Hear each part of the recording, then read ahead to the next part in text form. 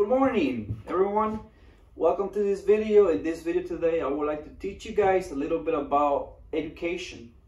So there's a quick question or a question that I would like to ask you guys is why going back to school is important and helps self-growth and better opportunities for the future life.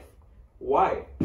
So education is the main social institution uh, through which society provides its members with important knowledge, including basic facts, job skills, and cultural norms, values.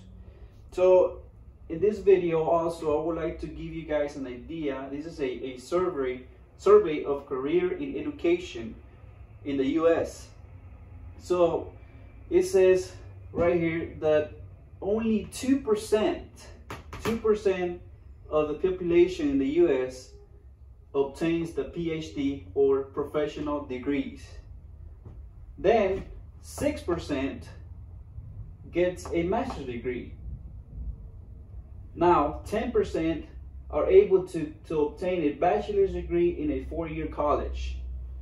And also, as we can see here, it says 9% take some four-year college, 9% of the population in the US. Community college, it says the 6% of, of, the population in the US are, uh, are getting the degree in, in, in community college. Now, this is a bigger picture here. 18% of, of people of uh, people gets their high school uh, diploma or, or vocational high school, uh, only 80%. If we go here, this is a bigger number. 31% of people graduate from high school or, or has a comprehensive high school uh, knowledge. Also, if we go here to the top, it says less than less than high school, less than high school, that's 18%. So 18% of the population not even make it to, to finish the high school. So like I said, this is a survey of a career of education, basically just a, a, a chart of uh, an example for you guys to understand that that uh, education is a very important um, tool in, in, our daily lives. Uh, for example, knowledge is related to learning uh, critical thinking. Basic, basic fact will be in education, which is the first stage of formal, formal education coming after preschool and before secondary school.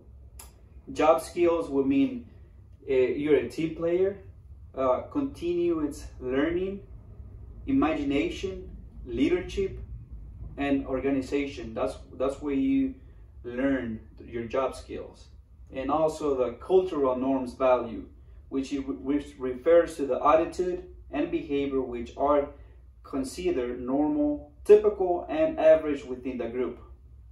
And participating in a group is also one of the things that brings in the cultural norms and and and being a norm, uh, uh, a member of a culture. Like I said, uh, this chart here gives you guys a better idea of how uh, education is provided or, or, what's the education in the, in the U.S. And as you can, as you guys can see, 31% of that only 31% of the population gets their high school diploma. And if we go here, it says the PhD, only 2% of the populations are able to obtain uh, a, a, professional degree. So with this being said, guys, uh, it is very important to, to understand and to be able to get back to school because it gives you a self-growth and opens more door for you guys. In my case, uh, it took me a while. I finished high school.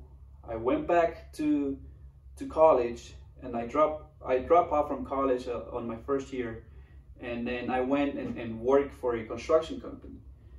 After that, I after six months of working in a construction company doing concrete work, I decided to go back to school and, and finish a, a career in, in, in something.